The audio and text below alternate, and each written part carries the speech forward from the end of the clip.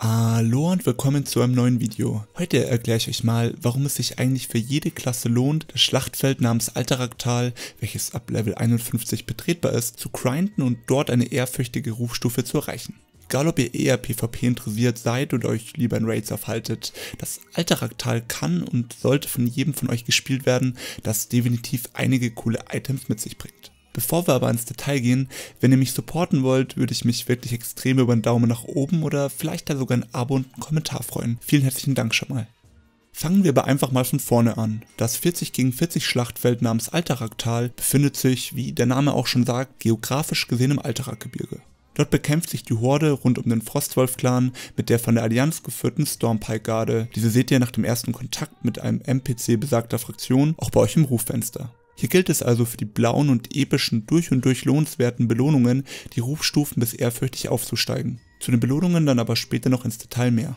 Eure Aufgabe im Alteraktal ist es, den gegnerischen General zu töten. Die Allianz muss dazu in die Festung in den Süden und die Horde ganz einfach in den Norden. War leichter gesagt als getan. Dieser wird nämlich von vier Wachen bewacht, die ordentlich zuhauen können. Seid allerdings froh bzw. traurig, wir spielen das Schlachtfeld in der Version 1.12, in der sämtliche NPCs schon gut genervt wurden. Die vier Wachen des Generals könnt ihr verschwinden lassen, indem ihr die Türme bzw. Bunker der gegnerischen Fraktion zerstört. Jede Fraktion hat sinngemäß vier davon. Nehmt ihr also einen Bunker oder Turm ein, verschwindet eine Wache und der Kampf wird dadurch etwas leichter. Außerdem bekommt ihr dafür Ruf. Ich gehe aber später noch darauf ein, für was ihr wie viel Ruf genau bekommt. Es gibt es noch die Friedhöfe, die aber, denke ich mal, relativ selbsterklärend sind. Nehmt einen der sieben Friedhöfe ein, um von kürzeren Laufwegen zu profitieren, was aber nicht immer ein Vorteil sein kann, dazu dann aber vielleicht in einem späteren Video noch mehr. Jetzt gibt es noch die beiden Captains der jeweiligen Fraktion. Bei der Horde ist es Captain Gelvengar, der sich in der Eisblut-Garnison befindet und bei der Allianz Captain Balinda, welche sich in ihrem Stonehalf-Außenposten zurückgezogen hat. Jeder Captain gewährt der eigenen Fraktion in regelmäßigen Abständen einen Buff, der die Gesundheit der Kämpfer um 20% erhöht. Liegt der Captain des Gegners im Dreck, gibt es keinen Buff mehr. Doch nicht nur das. Zusätzlich gewährt euer Captain euch einen stärkeren Buff. Wenn ihr den Captain des Gegners umhaut, winkt Bonus-Ehre und Bonusruf. Außerdem spawnen einige NPC-Truppen nicht mehr.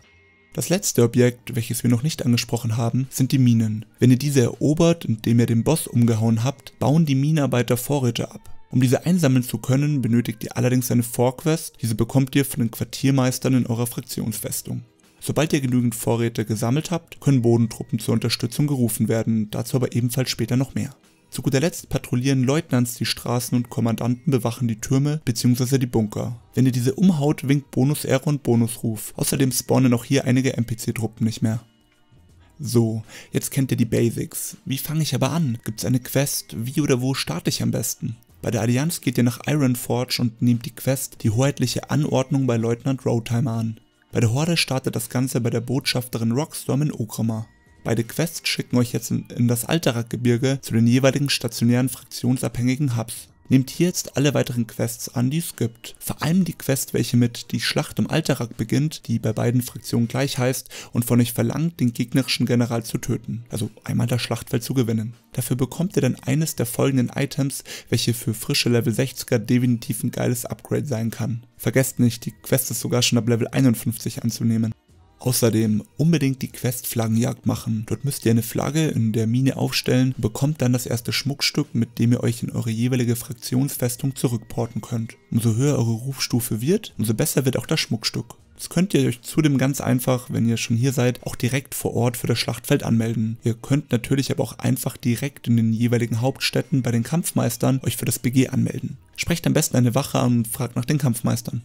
Zudem gibt es jetzt noch diverse wiederholbare Quests, die in eurer Festung anzunehmen sind und eurer jeweiligen Fraktion das Leben etwas leichter machen können. Beim Schmied könnt ihr zum Beispiel Rüstungsfetzen abgeben, welche ihr von besiegten Gegnern einsammeln könnt. Wenn genügend abgegeben wurden, bekommen alle einen Buff, der eure Rüstung erhöht und eurer jeweiligen Generäle dazu ermutigt, in regelmäßigen Abständen weitere Verstärkungen für Nahkampf bzw. Zauberschaden zu verteilen. Aktivieren kann das allerdings nur ein Spieler mit mindestens der Rufstufe Wohlwollend.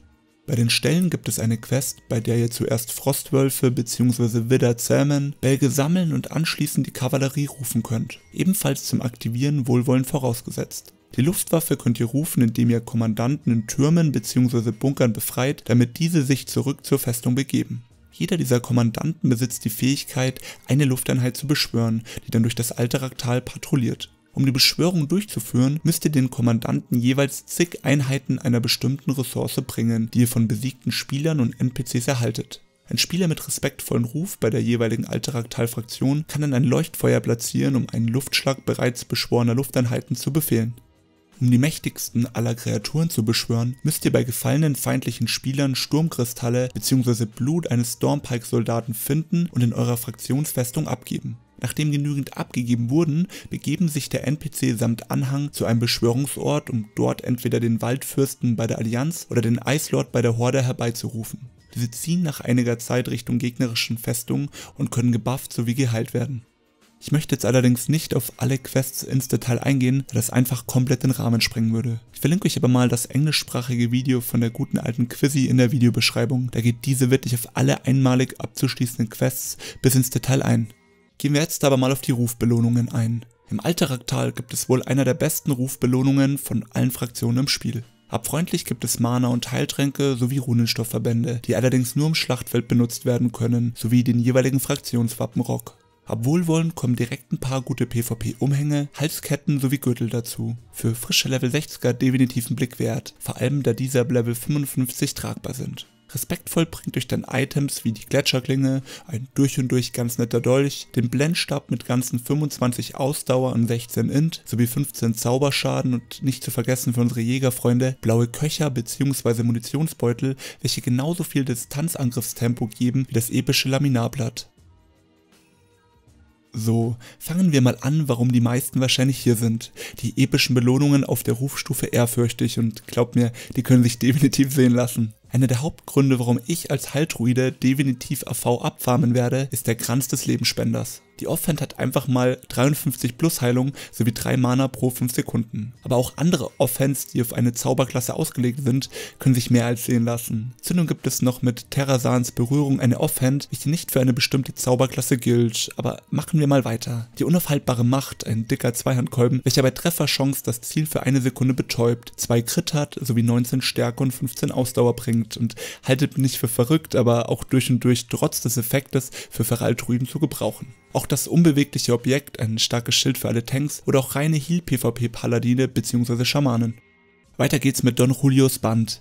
Leider einzigartig und nur einmal tragbar, hat aber einfach so gut wie alles drauf, was man als Melee-Klasse gebrauchen kann. Ein Crit, ein Hit, 16 Angriffskraft sowie 11 Ausdauer spricht da denke ich für sich. Der Geistesbrecher, ein definitiv sehr starker PvP-Dolch, sowie Don Rodrigos Band für Priester, Magier und Hexenmeister. Der Ring erscheint auf dem ersten Blick meiner Meinung nach gar nicht so stark. Allerdings werden eure Feinde im PvP durch und durch Gegenstände tragen, welche alle plus Widerstände geben, siehe zum Beispiel die Tiersets. Zu guter Letzt natürlich die Reittiere. Bei der Horde gibt es hier den Frostwolf und bei der Allianz den Streitwedder. Jede Rasse der jeweiligen Fraktion kann diesen reiten und das für geschlagene 640 Gold. Sieht aber auf jeden Fall geil aus und ist für alle Spieler eine Option, die nicht bei Ironforge bzw. Ogromar einen ehrfürchtigen Ruf mit Stoffspenden machen wollen. Ich werde mir das Ding als dicker Taucher aber auf jeden Fall holen. Wer an den Kämpfen im Alteraktal teilnimmt, erarbeitet sich ganz automatisch Rufpunkte für die eigene Alteraktal-Fraktion. So bringt euch zum Beispiel ein toter General 389 Ruf, ein besiegter Captain bzw. Lord 125 Ruf und jeder zerstörte Turm 12 davon. Dazu kommen natürlich auch noch Rufpunkte für besiegte Kommandanten, Leutnants, NPC-Wächter und Spieler. Am Ende der Partie werdet ihr dann auch noch für zusätzliche Ziele belohnt. Wenn euer Captain noch lebt, winken zum Beispiel 125 Ruf. Jeder kontrollierte Friedhof, jeder Turm und jede Mine bringen je 12 Ruf. Dazu kommen je 18 Quests für das Alteraktal, über die ihr euch in den meisten Fällen 250 bis sogar 500 Ruf verdienen könnt. Also brav alle Quests erledigen. Wie ist eigentlich eure Meinung zum Alteraktal? Hättet ihr lieber mit einem anderen Patchstand gespielt und falls ja, warum genau? Wollt ihr bis ehrfürchtig machen und habt ihr sogar ein spezielles Item im Auge? Wollt ihr euch vielleicht sogar das Mount für schlappe 640 Gold kaufen? Haut mal bitte euren Kommentar dazu raus. Eure Meinung wird mich da wirklich brennend interessieren. Jetzt gibt's noch einen Tipp zum Schluss. Ich kann euch, wer genau wissen will, wie lange es noch dauert, bis ein Bunker bzw. Turm eingenommen ist, das Addon namens Capping Battleground Timers empfehlen. Dort seht ihr ganz einfach in einer Leiste, wie lange das Ganze noch dauert. Ein neues Addon-Video zu meinen 5 besten PvP-Addons sollte aber denke ich nicht mehr allzu lange auf sich warten lassen. Bleibt also gerne dran und wenn euch das Video gefallen hat, freue ich mich natürlich wie gesagt mega über einen Daumen nach oben oder vielleicht da sogar ein Abo. In diesem Sinne mögen die Schlachten beginnen und immer genügend Mana-Tränke mitnehmen, man weiß ja nie.